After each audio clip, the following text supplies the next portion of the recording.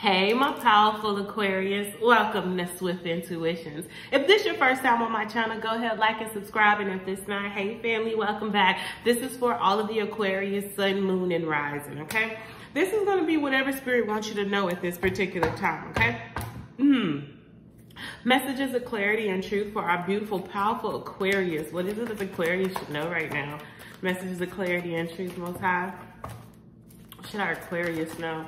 Ooh, okay. So the first thing that did turn over was oh, the death card. So Aquarius, you could be dealing with a Scorpio, Scorpio season. But yes, I feel like you're, you're, there's an end that has happened Aquarius, it could be end in a relationship, a situationship, or maybe just to end in a way you you decide to do something. I feel like you there there there had to be an ending for a new beginning to take place.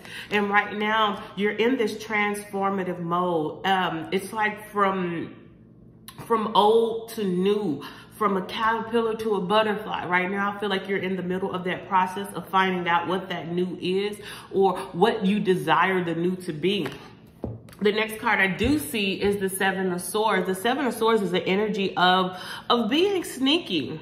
I feel like Aquarius, maybe there's something that had to end because it wasn't stable. And I feel like right now it's putting you in the energy of having to address uh, some type of sneaky behavior that you probably didn't want to, but has come out because it was the energy of four, five, six.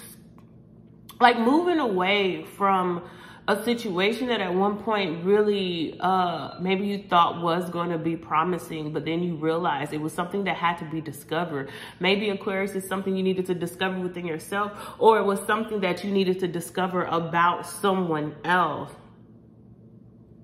Yeah messages of clarity. What is our powerful Aquarius? It was something hidden from you that I feel like has come to light. And now since you are now here in the, in the place to actually recognize it and address it, now something new can come from it, Aquarius.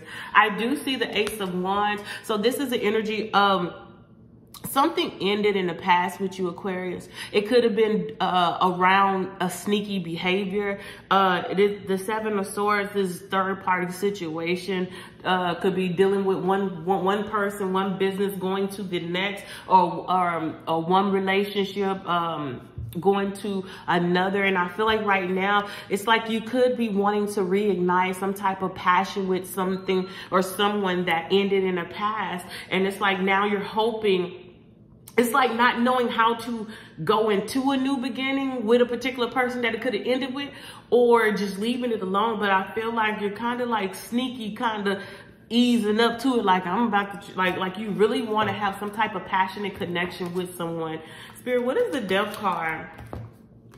Yeah, I feel like right now, whatever the situation was with the Nine of Pentacles, this has, oh, oh, if you, if, if this is you, I feel like right now you've been so focused on yourself, Aquarius, on your money, on your finances. And it's like, and I feel like right now you could be reliving, relashing or understanding a particular situation that could have happened in the past and ended. And now you are really trying to just focus on what is best for you, what is good for you. And with these Eight of Pentacles, it's like, okay, because the eight of pentacles is under the seven of swords. So it's like okay i need to see what is going to work for me and what isn't.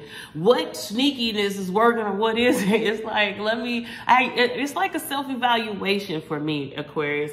I feel like right now you're just self-evaluating what it is that you truly desire what it is that you can that can truly come from a particular situation that ended. And i do see justice here. So this is the energy of wanting to do right by someone or something that maybe in the past um, could have been wrong or that you feel like you could have wronged they could have wronged you but it's it's the energy of really reflecting seeing your darker side. And i feel like whatever the situation was the death of a situation really put you face to face with yourself. And now it's like wanting to balance out something uh so that you could have this ace Ace of Wands, this passionate beginning, because whoever, whatever situation this is, it is playing on your mental and you feel like maybe they, they mentally stimulating. All right, Aquarius, that's all I got. If that resonated, go ahead, like and subscribe, and go check out your other signs, Sun, Moon, and Rising. I love you. Have a wonderful day. Mm -hmm.